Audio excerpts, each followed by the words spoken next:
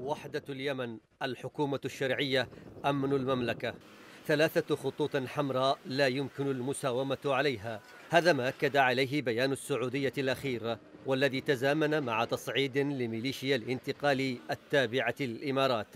بدت السعودية مصرة على ضرورة تنفيذ ما دعت إليه في بداية أحداث انقلاب عدن.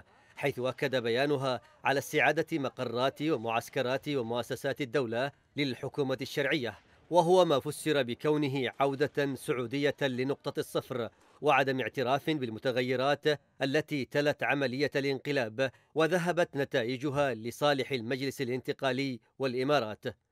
كانت لغة الرياض هذه المرة قوية مقارنة بالسابق فهي ستتعامل بكل حزم كما يقول بيانها مع أي محاولة لزعزعة استقرار ووحدة وأمن اليمن لأن ذلك يعد تهديدا لأمن المملكة.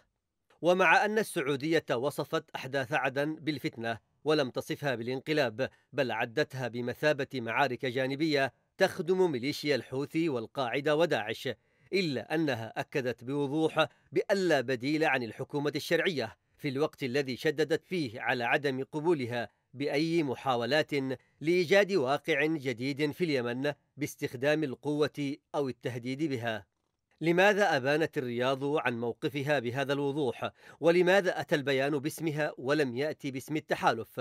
استفهامان رافق بيان السعودية وبالنسبة للمراقبين فإن صمود الحكومة وعدم رضوخها لتنازلات على حسابها هو ما أنتج هذا الموقف السعودي الذي يعزوه محللون إلى الطريقة المستفزة للمجلس الانتقالي. وبينما يذهب البعض إلى احتمال اتساع الخلاف بين السعودية والإمارات يتخوف آخرون من أن يكون هذا الأمر لامتصاص غضب الحكومة التي بدت مرحبة ببيان السعودية ومستعدة للتفاعل معه.